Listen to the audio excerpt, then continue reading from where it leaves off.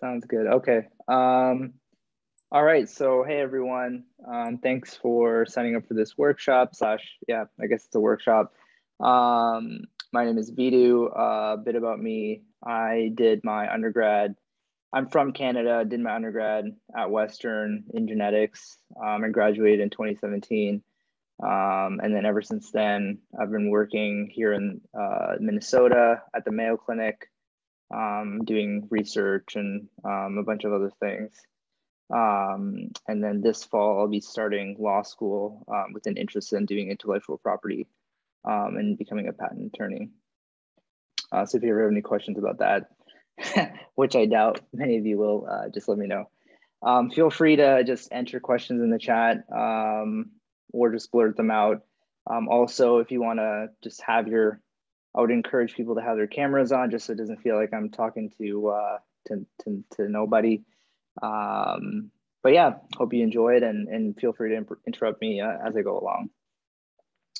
So um, obviously we need to develop our scholarly writing skills um, at the university level.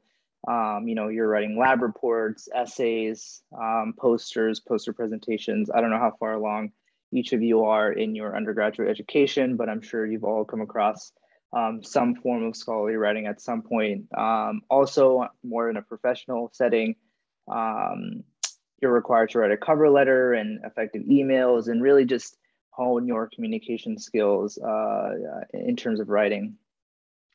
Um, but in terms of looking beyond your current writing tasks, what types of other communications do um, professionals and professors? Oh, we have someone popped in. Um, what sort of writing tasks do professionals and professors um, and experts need to write about? Um, so the answer to that is, you know, uh, papers, books, um, book chapters, lectures, really uh, recommendation letters, all sorts of different professional writing uh, pieces that um, uh, uh, professors and professionals put together. Um, and so after you graduate, these are all sorts of things that hopefully you'll be required to produce. Um, and at, you know, it's important to kind of start honing these skills early on um, uh, before you get to that point. Um, so pretty much uh, there's no clear um, uh, answer to writing. Really, today the point is to just teach you a few different skills about scholarly writing that hopefully you can take over the next four years. Um, and so we'll be going over kind of the elements uh, of what uh, kind of a paper looks like um, and some of the do's and don'ts of, of an academic piece of writing. Um, so before we kind of get into the nitty gritty, we want to just take a step back and look at the overall picture. Um, so typically, uh, writing in STEM does revolve around publishing scientific papers. Um, a lot of students enter research with the aim of publishing one to two papers to help boost their career applications to med school or graduate school. But publications aren't just there to strengthen your resumes and CVs. Um, it's a great way to uh, share information, um, no matter how large or small, with the scientific community. Um, and I think that's a great way to think about, uh, you know, publishing in general. You know, it's not something you're doing to add to your CV. It's kind of a way of engaging with the world around you. And if you can kind of see um, that academic piece of writing that you're producing as part of kind of this larger puzzle um, and this broader, you know, this contribution to like the the bigger picture, I think it makes you just like more engaged with the work that you're doing, and you don't really see, you see it more than just a means to an end. Um, and yeah, I think that's it for that.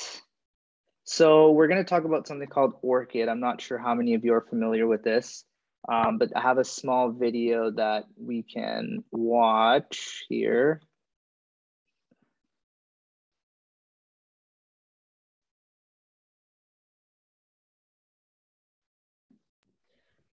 Um, sorry, we can't hear the noise you you or the sound. You might have to reshare with sound. Oh, you can't hear yeah. it? No. Oh, okay. How can I? Because I have. How can I play it with sound? Sorry. You uh, just have to stop. Oh, sorry, Sarojini. Go ahead. Oh, oh, no, it's okay.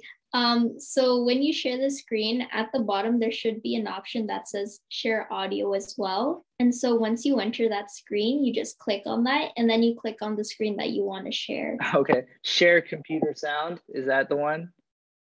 Uh Okay, let's let's try this out. yeah, Okay. that's, that's the one. That's the all right. one. Meet Sofia Maria you hear it? Hernandez Garcia. Super. She is an active and accomplished scholar in her field. She does research, writes and publishes, teaches, speaks at conferences, the things that most researchers and scholars do throughout their career. She has done her work at several different organizations and has been fortunate to receive grants to support her research. Sophia wants to concentrate her time and energy on her scholarship, though sometimes things get in the way. Funding organizations want to review her past work before making an award. Her institution needs her to provide a complete list of her works for her promotion review. Potential collaborators are trying to figure out if she is the Sofia Garcia they're looking for. The internet, repositories, and other resources can help answer some of these questions, but they all have the same core challenge. They attempt to link research activities and researchers based on the spelling of a person's name. As individual as we each are, our names are actually not that unique. Even in the same field or institution, there can be others with similar or even the exact same name. And it can get even worse if you consider all of the potential variations of a name. Names can change over time, are sometimes expressed in different ways in different situations or languages. So when someone searches for Sophia, they may or may not find all, and only the things that can be attributed to her work. Today, many institutions and agencies solve this problem with paperwork. They ask Sophia to fill in forms, to list her works, and include her affiliations and funding history. Some may even ask her to list her collaborators along with their past work, affiliations, and funding. What is related to Sophia's work and what is not? There has to be a better way. ORCID IDs are unique and persistent identifiers specifically for researchers, analysts, and scholars. With an ORCID ID, Sophia can clarify what activities are hers, regardless of how her name is expressed. Sophia registered for a free ID at the ORCID.org website. ORCID is a nonprofit organization that allows our users to control what data are linked to their identifier and how those data are made public, shared with a limited group, or made private. The community may access data made public by our users for no fee, and also attach it to her organization and any new public research activity she engages in, such as publishing a paper, releasing a data set, or applying for a grant. With the ID attached to her activities, it makes it easier for people, institutions, and systems to figure out which activities are Sophia's, even if her name doesn't always appear in the same way, distinguishing her from others with the same or similar name. ORCID IDs are collected and used internationally by many institutions, including publishers, repositories, professional associations, universities, funders, and research organizations. In addition to attaching her ID to new activities, Sophia can allow these organizations to read her ORCID record to get her already curated list of past activities. Best of all, if Sophia leaves her current institution, the ID travels with her, along with the list of all of her past activities. She can continue to use the same ID throughout her career, even if she changes employers, moves to another country, or starts to do work in another field. By linking the ORCID ID to her work when submitting a manuscript, applying for a grant, or registering for a meeting, Sophia ensures that the organization she works with can get the information they need with less paperwork for her. It means people will find all and only her work when they search the internet. Sophia can spend her time concentrating on what matters most, and that makes her very happy. Get your ORCID ID today. It only takes 30 seconds to register for one and is completely free. ORCID, connecting research and researchers. All right. Does anyone have any questions about that before we move along? All right. I guess that's no question. Sounds good. All right. So um, just a quick summary slash we'll go through a kind of a review of, of what the, that video talked about. So basically it provides, ORCID provides an identifier for individuals to use with their name as they engage in research, scholarship, and innovative activities. Um, and as the video demonstrated, it can be particularly useful for researchers with a common name or for a person with numerous research and scholarship activities. Um, uh, and a few, few of you might be wondering how many people actually use ORCID um, and where would your ORCID ID even come in handy? Um, so as of just this year, um, there are approximately 13.3 million ORCID IDs. Um, and today ORCID is being used by research institutions such as Caltech and publishers such as Elsevier, Springer, Wiley, and Nature Publishing Group. Um, and the, these publishers um, own the rights to several journals. Um, so um, as you can imagine, you know, a, a, large number of journals are using ORCID. And I, I wouldn't, I mean, from personal experience, I would encourage you to use ORCID because even my name itself has not been spelled the same. Uh, not spelled incorrectly, but on different publications, sometimes my middle name is not there. Sometimes my middle name is fully there. Sometimes it's just an initial. And so if I Google myself and try to look for my publication, sometimes all like they don't come up. So um, I and I have a pretty like not you know um, common name. So for people who do have a common name, it's it's even more problematic. Um, and so the nice thing is is that you can start early um, with ORCID because the, the kind of the the difficult thing about ORCID is that you can't sometimes you can't add publications after the fact. So the earlier you start, it's good to link it before something gets published because for whatever reason, um, sometimes you can't publish it. You can't link it afterwards, um, which is kind of annoying. Um, yeah, anyway, so um, right now, um, uh, you want to basically uh, include your education uh, at this point as students in your ORCID ID. Um, some of you also might be working a job, and if it's academically related, you can enter that too.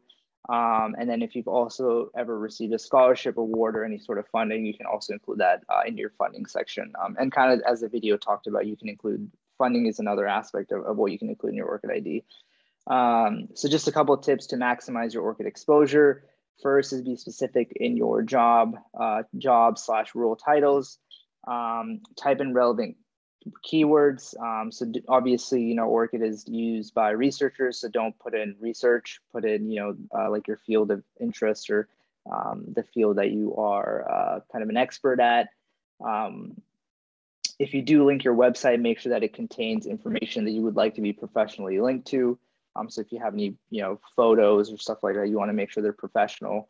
Um, you could also put links to your CV. Um, you could include uh, posts detailing your research project, uh, things like that.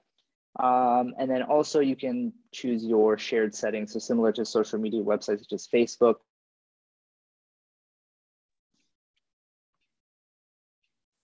All right, what happened there? uh, uh, we believe it might have been your connection. Yeah, I think that's what happened. Okay, let me uh, get everything shared again. Oh, no worries. All right. Is that good now? That's good. All right, perfect. Sorry about that. Oh, no worries. Where did I freeze or where did it drop off? Um, so you were talking about just right after your speech about how you can use these for jobs as well. Okay, okay. And then you were talking and then it just cut. Did you? Okay, all right. Did you hear what I said about maximizing your ORCID exposure? I believe we heard some of it. I don't okay. know. Was it clear for the rest of you?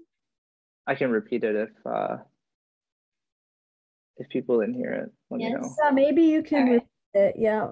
Okay, yeah. sure. I'll repeat it. All right, go, I'll go over it quickly. So yeah, first thing um, to maximize your exposure, be specific in your job roles and titles. Um, also include relevant keywords. So um, don't, you know, everyone who's using ORCID is a researcher, so don't put uh, research as a keyword. Put the field uh, that you're either an expert at or fields that you're interested in or that you published on, things like that. Um, you can also include links to websites. Um, you can include your CV. You can include um, posts detailing the specific research projects you're working on.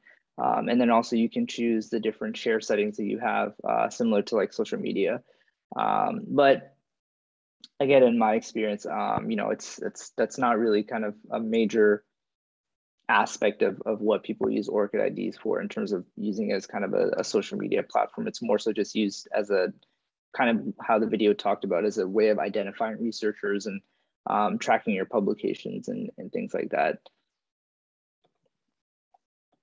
All right, so um, by joining the international scholarly community through ORCID, um, you as an individual can start with positioning yourself as an investigator and researcher. Um, so how do scientific papers gain recognition and how do you measure a paper's impact? And you, some of you might have heard some of these terms before, um, but I'll quickly go over them. So at the journal level, you have the impact factor. Um, the impact factor is basically a measure of the frequency with which the average article in a particular journal has been cited in a particular year or period. Um, and since it eliminates bias, it's useful in comparing different journals, such as large journals over small ones or frequently issued journals over less frequently issued ones, and of older journals over new ones. Well, um, I don't know if I, yeah, so I mean, that's okay. Uh, I'll, I'll, I'll come back to that. um, at the author level, we have the H index. Uh, the H index is to quantify an individual's scientific research output, and the index is based on the set of the researcher's most cited papers and number of citations that they have received in other people's publications. Before the H index, authors were evaluated based on the number of papers each year or the total citations from publications. Um, quality was not taken into account um, or the impact factor exclusively, which meant uh, more, more so for journals than for individual researchers. So the H index, a little bit more about that. It combines quantity and quality, productivity and influence. It also encourages consistency in citation numbers by favoring continuous streams of papers with lasting and above average impact. So a way of understanding H index is it's the highest number of papers a scientist has that have at least that number of citations. So one second. So a scientist has index H if H number of their papers have at least H citations each and the other papers have no more than that number. So if some, so example, Professor Lee has index, has an H index of 15. If 15 of his papers have at least 15 citations each, and the other papers have no more than 15 citations each. So papers gain recognition through citations and references in other scholarly publications, but, but now in today's day and age, scholarly communication is changing. So this altmetrics, we'll kind of talk about this for a little bit. Um, this kind of takes into account kind of, uh, you know, the new age of how we disseminate and talk about uh, information, which, you know, includes social media and all that kind of stuff. So a research output is mentioned online every two seconds. It could be a paper tweeted among academics on Twitter, or a paper cited in a newspaper article being shared on Facebook or talked about in the evening news. So if we follow this infographic and do the math, that's 44,000 new mentions per day, and around 50 individual research outputs are shared or mentioned online each week. So how do we monitor the impact that research is having in real time? This is where altmetrics come in. And so we will uh, go through a video. Um, sorry, we have a question from Mimuna. Um, she asked, I'm just gonna repeat it in case no one's reading the chat. Um, being a third author or like any number below that, can that negatively affect the author when like applying for stuff uh, and you share your research paper? Sorry, I'm drinking so much water. Like I've been, I have, I have had, I've had like three flights over the next, over the last five days. I'm just like super thirsty. So I'm just like everything's really dry. Um, no, absolutely not. So uh, to answer your question, no. I mean, being involved in any capacity in research uh, is is a good thing, and you will never get you would never get penalized for being like you know, uh, further down the author list on a paper. Um, obviously, you know, it's better to be a frontline author, but that just has more to do with kind of, um, you know, that the amount of work you put in, that's typically how, or how, how authorship should be decided. Um, but in terms of, you know, where you are in the authorship, I mean, um, that, that would never be, that would never have a negative impact. Um, obviously, you know, a paper where you're like, let's say you're applying, speaking to what you're asking, if you're applying for stuff, if you're like fifth or sixth or seventh or something, or, uh, you know, kind of. Sorry? Uh, okay. Anyway, um, if you're, you know, not a first line author, if you're applying for something, you know, or, uh, in, you know, in general, that paper is not going to look as impressive as if you are a first line author for, you know, first, second, third, something like that. Um, but that's okay. I mean, that that's not, that's not necessarily a negative impact. That's just, that's just how it is in terms of, you know, how people see, um, you know, uh, particular things on your resume. Um, hopefully that answers your question. Okay, cool. Anyway, so I'm gonna go through a quick video here on altmetrics and let me know if you can hear the video. In this video, we'll share a beginner's guide to altmetrics. This is Grace. Grace is a biologist who is about to go up for tenure. In her dossier, she's expected to share evidence of her community outreach efforts, but she doesn't know where to find this evidence. Where can Grace learn how her books, articles, data analysis software, and other research are being used and discussed by many different diverse types of people, including the public and policymakers? Grace asks her mentor, Dr. O'Reilly, for advice. And Dr. O'Reilly introduces Grace to the idea of altmetrics, a new, better way to understand all of the potential impacts of research. Altmetrics are data sourced from discussion happening online around research. Because more people are using the web to communicate with each other in their everyday lives, more research is also being shared, discussed, rated, recommended, reviewed, and read online. That means that the use and discussion of research that was previously hidden is now more discoverable than ever before. Altmetrics can potentially be gathered from any online forum where research is being discussed. That includes social media, research blogs, public policy documents, news articles, and more. The possibilities are endless. These online interactions in the aggregate provide a lot of data that can help researchers like Grace discover the specific, meaningful examples of online engagement. For example, when policymakers have recommended changes to healthcare treatments that were first mentioned in a research article, when a researcher has praised a book on a blog read by thousands of other microbiologists worldwide, or when doctors reference research on Wikipedia to help other clinicians understand a disease. Some experts have called these types of evidence flavors of impact. Based on altmetrics, research has been found to have many flavors of impact beyond the kind you can discover using citations alone. These flavors can include research's impact upon education, policy, and more. Altmetrics can help us fill in the gaps that citations alone can't address. For that reason, they're meant to complement, not replace citations. Experts agree. Altmetrics are useful in combination with other metrics and expert peer review for helping us understand the potential impacts of research. They're meant to supplement, not supplant, existing forms of research evaluation. Altmetrics can potentially be applied in any situation where you need to understand research's attention, influence, or impact. And for that reason, they're a great fit for Grace. Now, Grace knows that altmetrics can help her find solid evidence for her tenure dossier. Want to learn more? Visit altmetric.com to check out our beginner's guide to altmetrics and to find free tools that can help you find your own altmetrics.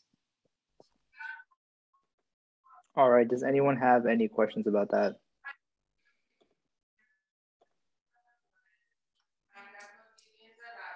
Oh yeah, also sorry to cut in, but um, just uh, keep in mind all to keep your mics off unless you have a question. Um, thank you. There's a spot. Not marked by. Sorry. All right, cool. I'm gonna skip over this part because I think we're it's it's not really relevant. So, okay, all right. So we're gonna talk a little bit about what actually goes into a manuscript. Um, before I continue, have any of you like have experience going through like a journal article or have experience writing a journal article kind of what where where you are with with uh, your comfort level with this you can put it in the chat or you can say it out loud. Okay read a bunch yes. Yes i'm okay sounds good. Okay. A couple people responded. All right, so yeah, so we'll just talk a little bit about um, you know, what goes into a paper. So um, looking at an example manuscript, in order for you to be picked up by blogs, mainstream media coverage, um, and so on, choosing the right and relevant keywords are necessary to help your paper be discovered and increase its impact factor. Um, so the first thing, key things that we encounter at first glance are the obviously the keywords, um, the title, and the abstract. So looking at the title first, um, this is what many readers will see and many people will judge your entire article by it, despite the old phrase, don't judge a book by its cover. Um, so this means that you need to select the words in the title with great care. So when it comes to title, you wanna make sure the title is specific. Um, what are the dependent and independent variables being tested? And is there a clear trend or result that emerges? Are you working on a specific organism, meta, or location? Um, use the fewest possible words to describe the contents of your contents of your paper. So yeah, typically, um, you know, with a title, you have um, it's kind of an expression of kind of the major finding of your uh, of your scientific work. Um, you would mention the name of the organism. You would mention the disease, for example. You would mention um, kind of what your main finding is. Um, but obviously, you know, brevity is key. You want to make sure that it's nice and short. And so you know, um, and you know, some journals have like they have certain word limits or character limits um, on titles, um, and so those are things also you need to kind of keep track of and abide by uh, when you're publishing something. So uh, the next thing you come across is the abstract. Um, and the abstract is basically uh, your chance to hook your reader in. Um, and at this point, the reader has not read the rest of your paper, so this is meant to be a brief summary. So I'm sure uh, you know a lot of you have been on PubMed, things like that. Um, and when you're looking at papers on PubMed, you know the abstract is kind of what will come up uh, when you click on a paper, and it's it's really your first pass kind of at determining whether that paper is of, of relevance to, to whatever you're trying to uh, learn about or write about. And so you want to make sure that you know you do write your abstract with a lot of intent typically, um, you know, abstracts you'll write kind of at the end um, as kind of the final piece of, of your paper, um, even though it comes right at the beginning, just because it's, it's um, you know, the rest of your paper needs to get fleshed out before you actually write your abstract because your abstract is going to be, you know, only like 100 or two or 300 words. Um, and so according to the American National Standards Institute, a well-prepared abstract enables readers to identify the basic contents quickly to determine whether the paper is relevant to their interests and decide whether they need to read their paper or not. Um, and so as an author, you are trying to deliver the main points in a concise paragraph. Um, and essentially you would state the purpose or aim of the paper, the methods used, the major trends, values, and your principal conclusions. Um, and yeah, some pointers about um, abstracts, you know, don't include like too many technical terms or abbreviations. Um, and you there's not too much discussion going on in your abstract. It's really just stating kind of like your your main findings um, maybe one intro sentence things like that.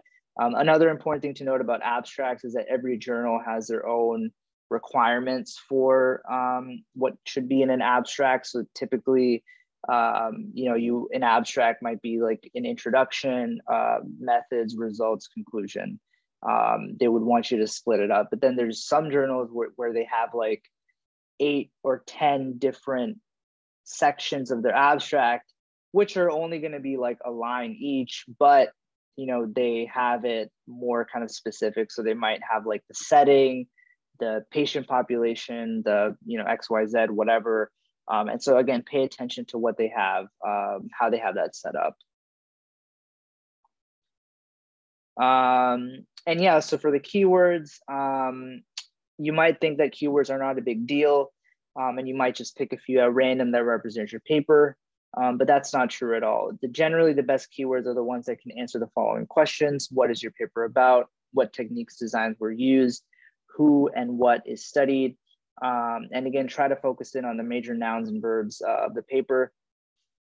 The truth is picking relevant keywords um, is that they will give your paper that edge as we've seen through the altmetrics earlier. Um, and yeah, you know, we've been talking kind of about um, titles and keywords and things like that. And so um, the point about that is, you know, uh, a strong piece of scholarly writing isn't just about the words you write or type. It's also about how you present your work, work. Um, a strong title, a relevant abstract, uh, simply following formatting standards. These things make all the difference and can literally make or break your paper. Um, all right. So yeah, now we'll actually talk about some of the writing. So we'll talk about the intro first. So um, the intro is actually, you know, very, very important. Um, so the way that it's typically organized, think of it kind of like an inverted triangle. Um, you want to start off broad with kind of the general background information. Um, you want to define relevant terms. Um, and so let's say we're writing a lab report or I guess a piece of uh, scientific writing about enzymes. So first, um, you would define kind of what is an enzyme. Um, you want, might want to define uh, terms such as turnover rate, catalytic efficiency, um, the Michaelis-Menten. Con- actually, you know, I'm, I'm going to edit this a little bit. So, you know, actually, you know, if you're writing a journal article, because we're talking about journal articles, if you're writing a journal article about um, uh, a particular enzyme that you're studying and the function of the enzyme, you're not going to define what an enzyme enzyme is. You're not going to really define any of these terms. That's that's not something that you're actually going to do. Um, you would define it with perhaps within the context of that organism that you're studying, or you would define what the function of that particular enzyme is that you're studying, but you would not go out and define an enzyme. No one actually does that. Um, just, yeah, just pointing that out. Um, and yeah, the next thing we want to do is include a brief literature review.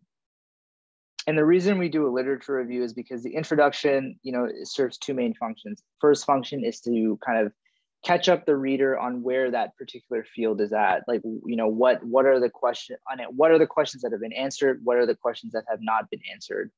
Um, and then the second piece of it is to kind of you know fit in what define what you're studying and kind of help explain why it is that you conducted this study. Really think of it like you're trying to kind of plug plug a hole essentially.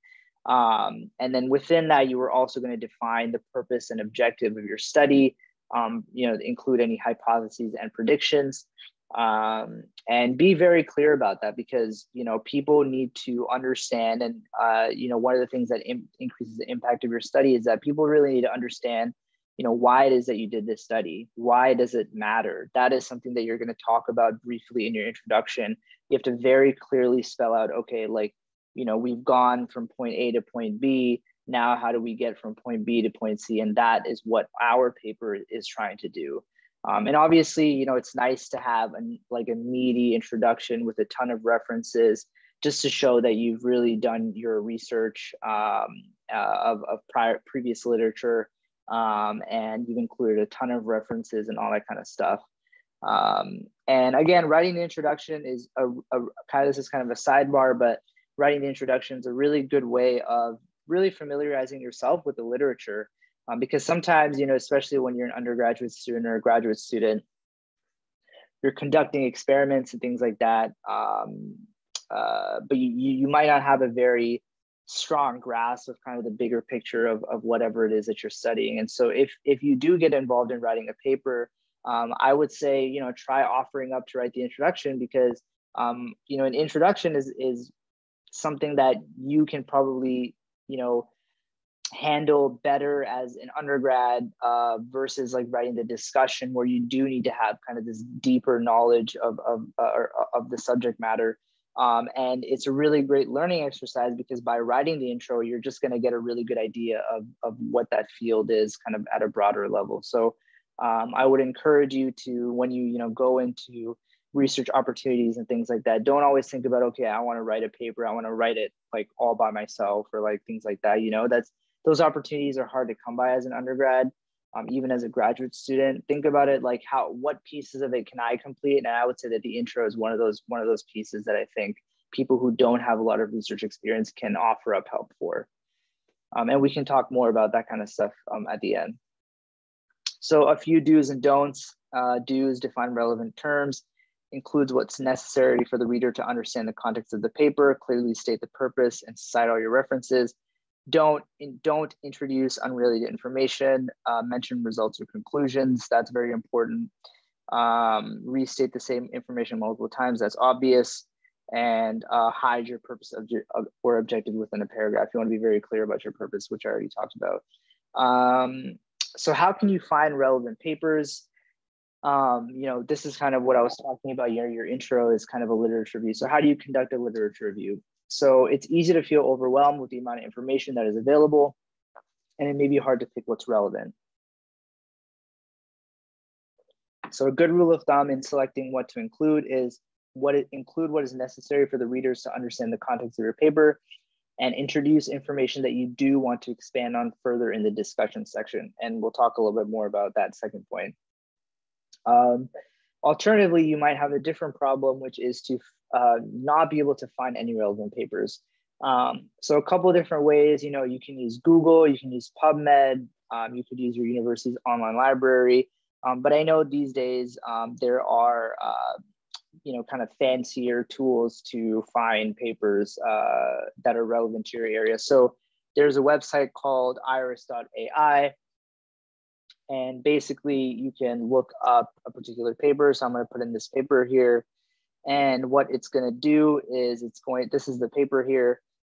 And it's going to create a map essentially of all the different um, related papers by keyword. So these are kind of the papers uh, uh, uh, that are related to this particular journal article. And so if you go in here, there's these kind of like, think it's kind of like a word cloud almost, and it'll show you papers within that area. So if I go to like consumption, um, there's all these different papers within here that it shows that are related uh, to that particular um, uh, uh, paper that you're looking at. I personally have not used a tool like this before. Um, I'm old school and just use PubMed and, you know, kind of, you know, slum it out like that and figure it out. But, um, you know, if you want to be fancy and try these things, you can totally go for it. It's, it's really up to you. Um, personally, what I like to do, honestly, um, is, you know, if I want to learn, and this is kind of the way I do it, you don't have to, you don't have to take it, but if you don't want to use these fancy tools, you know, because this is this is a lot of, of information that that is being thrown at you. And for example, you might not want to look at a paper that was published in what there's like one yeah 1992 like that's like that's like 30 years ago. No one's to read that. So um, a good way to do it is I like to kind of find like seminal review articles um, on a particular topic, and like Nature publishes really good reviews um, things like that. Um, and reviews are a really nice way to not just learn about a topic, but they in fact will cite and summarize all the major um, articles uh, related to that subject area um, that are kind of the main articles in that field. And they will do it in a nice chronological way.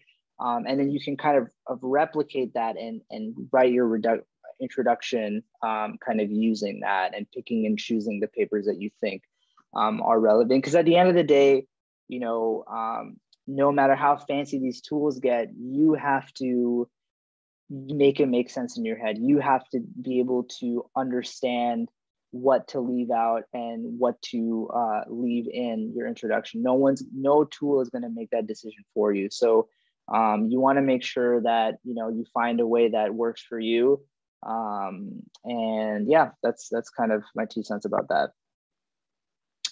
All right, so in terms of references, um, just a quick note, um, please cite everything. You don't want to be accused of plagiarism or academic dishonesty, especially uh, you know in, in academic writing. Um, and self-plagiarism is a thing, you know, uh, like um, I just submitted two different papers and you know i used the same table for both papers but i had to like jumble one up to make it not look like the other one it was even though it was like the exact same information just so that the one journal doesn't freak out about it so self plagiarism is plagiarism is a totally a thing that you have to avoid so please you know make your life easy and don't plagiarize and also if you do not use figures and tables uh, without permission from the paper. Figures and tables are included in, in that whole sphere of plagiarism.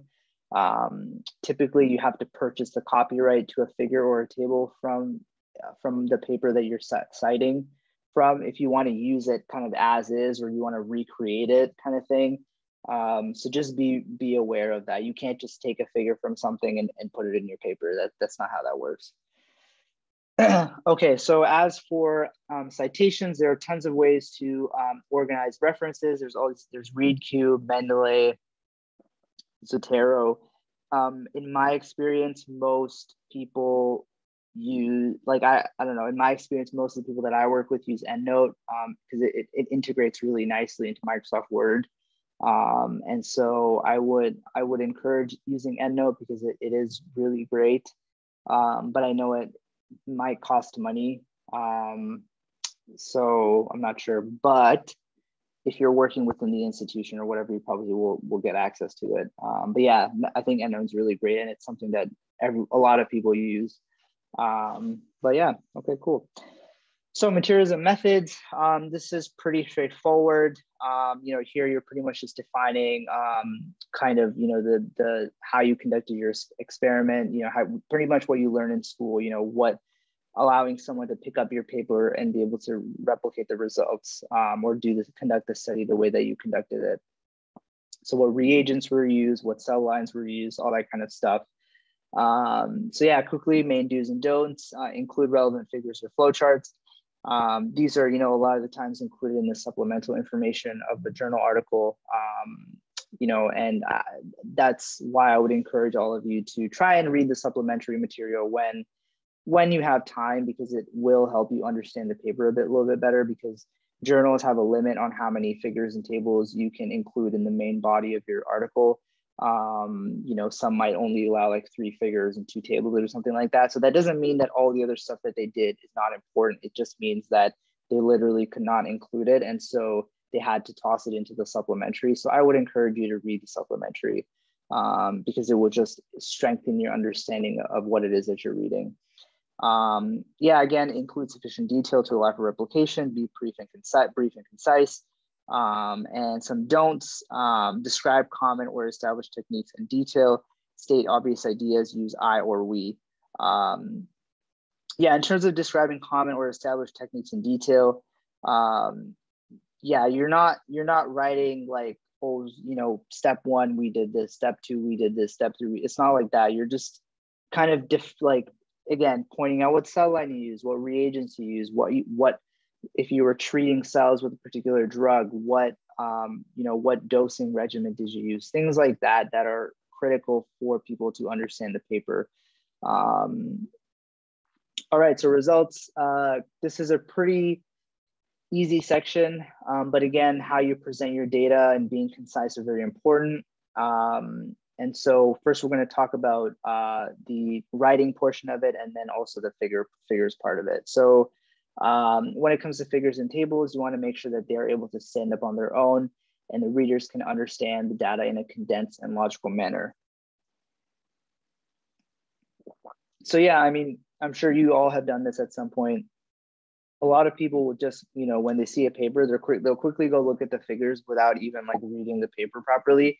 So you want to you want to make sure that the figures are, are solid, both in terms of the, the way that you presented the data, and then also like your figure legends um, can be a really good way to um, kind of get the point across. Uh, obviously, you're not doing any interpretation of data in the results section, um, but um, you know they they can still be very very informative, um, especially in terms of you can include in the figure legend like specific pieces of, of the methods, like what you know um, what type of like modality or you know technology did you use to capture that data?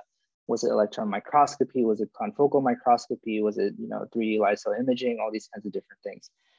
Um, all right so um, along with your figures and tables most papers uh, require a written description of the data um, and the key point here is to be brief and to not interpret the data at all and so the do's um, I kind of talked about these already. Um, include the overall main trends, um, mention key values, um, include appropriate units, and reference the correct figures and tables um, that you're that you're including in that sentence.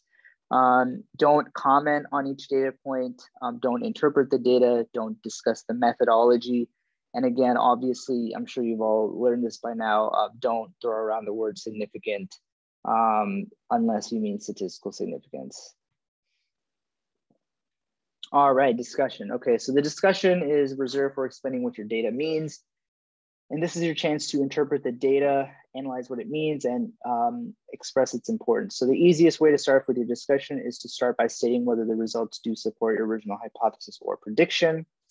Um, next, you want to explain what the data shows and why. And so for this, you want to keep the following ideas in mind. Um, so you want to compare your results to what was found in the literature, point to any relationships, correlations, or exceptions to the general trend. And again, the discussion is where you're going to link things back to some of the stuff you talked about in your intro. So all that kind of literature that you mentioned in terms of how, where the field is now, where that topic is now, um, you're going to link back to those things and say, okay, this is what our paper is adding to the literature. This is what our paper is challenging um, in the literature, things like that. Um, this is how our paper is different from you know what has been done previously, or um, this is how our paper uh, is similar or not similar to to particular uh, uh, publications. Um, and again, find refer references to support your explanation. So if you're interpreting your data in a particular way, you want to obviously be able to find other papers that can back up your claim. Um, not papers per se that have the same finding, but papers that can, let's say you're describing like a biological phenomenon, you know, other papers that have um, commented on uh, uh, uh, some of the underlying reasoning for, for, for a particular phenomenon. Um, uh, obviously, don't discuss irrelevant topics. Uh, don't redefine terms that have already been introduced, um, and do not cite cite random references. Um, I know some people have a tendency to just toss in references and hope that no one is looking, but but people do check your references at least in the in the academic world. So please don't please don't do that. Um, and yeah, so uh, the main elements of a strong paper are being clear, concise, and accurate. And I would encourage you to use technology to your advantage. Um, all right, so just kind of, uh, I'm gonna wrap up these next few slides very quickly, and then I wanna leave some time for questions at the end. Sorry if I talked a little bit fast. Um, I can stay an extra, you know, whatever, however, many minutes if you guys have questions about, about anything um, related to the present presentation or, or not related to the presentation. Happy to answer any questions. Um, yeah, so how to work towards publication at STEM Fellowship. Um, we have some materials online that you can visit to learn uh, about um, how to submit a paper to our journal. Um, and there's plenty of other opportunities um, that we have at STEM Fellowship Journal, um, uh, or sorry, we have a ton of other ways that you can eventually get a publication to STEM Fellowship Journal. Um, uh, you can do a consulting program. Um, we have writing challengers. Uh, we have scholarly writing workshops like this one. Um, we have a science communication blog where you can kind of practice your academic writing skills. And then we also have a scholarly writing challenge. Also, I should have mentioned at the beginning, uh, I'm an associate editor for STEM Fellowship Journal. That's why I'm talking to you today. I didn't mention how I'm involved with STEM Fellowship, so maybe I should have mentioned that. Um, and if you want to have contact for more information or support, um, you can uh, uh, contact or email German. Uh, she's the chief of science communication. Um, she's the one who asked me to do this presentation. And these are some of the workshop, workshops we've hosted. Um, and there's another one coming up uh, on March 12th, which is to uh, how to start your first manuscript. Um, and yeah, follow us on social media um, to stay updated and sign up hopefully this was a good workshop. Um, and now I will take any questions from you all. Let me know if anyone has questions. Please don't be shy. There's no stupid questions. I'll stop sharing here one sec. Um, I actually had a question about alt metrics. So I've I've heard quite a bit about it before, but essentially, just to clarify, what it is is that it counts like the number of times uh, like a certain publication or report has been shared, not just through the literature, like through ac- academic sources, but also through um like other social media sources. But how exactly do they count that if you have any idea? Because a lot of people can share something. Is it only like exclusive to like scholars sharing it through social media or anyone um, that's a good question. So yes, you did interpret it correctly. That that is what it is. Um, it's it's pretty much any kind of like mention of it on Twitter or uh, any other public forum. As for how it counts, um, well, things are given an all altmetric score, so it's so I'm not sure how that's specifically calculated, but it's not like one mention is is one uh, altmetric uh, uh, point or score. Basically, um, if you hover over an altmetric score, it'll actually kind of break down like um, you know x number of Twitter mentions or x number of people are talking about this on whatever. So um, it'll further define kind of where it's been talked about and things like that. If that makes sense. Yeah, that makes sense. Thank you so much. Yep.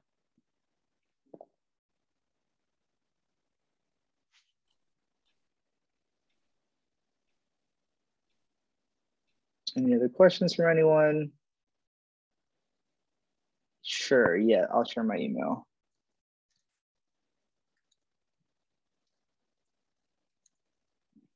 Sorry, just typing in the chat here. I think that's my email. yeah, it is. uh, okay, cool. Any other questions about like publishing or, um, you know, yeah, really anything about academics. Uh, happy to answer any questions. Um, it would have been nice to spend some time more on like what the actual process is of like submitting a paper and like how that actually kind of works. But I think this is a good intro uh, to to what kind of the content of, of an academic uh, article is. Mm-hmm. Um, I actually had a question as well. Um, sure. It's kind of like off topic. I don't know how. Okay, I'll just say the question. But um, so in case you wanted to approach maybe like a professor or some type of associate had maybe some type of project that they were looking to hire undergrads for, and they requested a cover letter for it. So, in that cover letter, would you include maybe just proof that you've read some of their past work into the cover letter, or would you just focus it mainly on skills that you can deliver to the project? Um, that's a great question. So, in my experience, and maybe things have changed, mm-hmm. and I don't know, maybe in my experience, an investigator will not ask for a cover letter uh, for a like especially like from an undergraduate or someone who's just looking to kind of help out with projects as like a research assistant or something like that um, unless you're applying specifically for for a job and so if you're applying for uh, a job let's say yes you would be required to write a cover letter in that cover letter um, you know, it, it, would be a good idea to have a couple lines about um, what, you know, interests you about working with them in particular. I think that goes to show for most cover letters. Um, you don't mm-hmm. have to talk about uh, specific publications that you read of theirs or anything like that. Um, but obviously, I think, you know, typically um, in, in a cover letter, you want it, the, most of the attention to be focused on you and kind of what kind of skills you have. Um, uh, especially in a lab setting, for example, you know, yeah. if you have if you've had some exposure to certain techniques, um, some wet lab techniques, things like that, it's okay to mention those in a cover letter that you have experience with like PCR and things like this, blah, blah, blah, blah. Um, and then obviously, uh, you know, expressing um, kind of how that fits in kind of your into your long-term goals and things like that um is have you has someone ever asked you for a cover letter just kind of for like a like a volunteer position or anything like that uh so um usually uh, so at utm we have a, an rop program and basically okay. it's where like a series of just profess- professors would list certain projects that we that they would offer to students okay um in the upcoming semester and usually most of them ask for like a cv slash resume and a cover letter Okay. So um, okay. yes, sometimes like we've received questions such as like, oh, what do you put in those cover letters? You just okay, make okay. yourself look good, or you actually show that you've read some of their articles? Yeah, so I think up? I think it's all yeah. I mean, I think you know, as an undergraduate student, it's it's good to, um, at the end of the day, like this this might be kind of um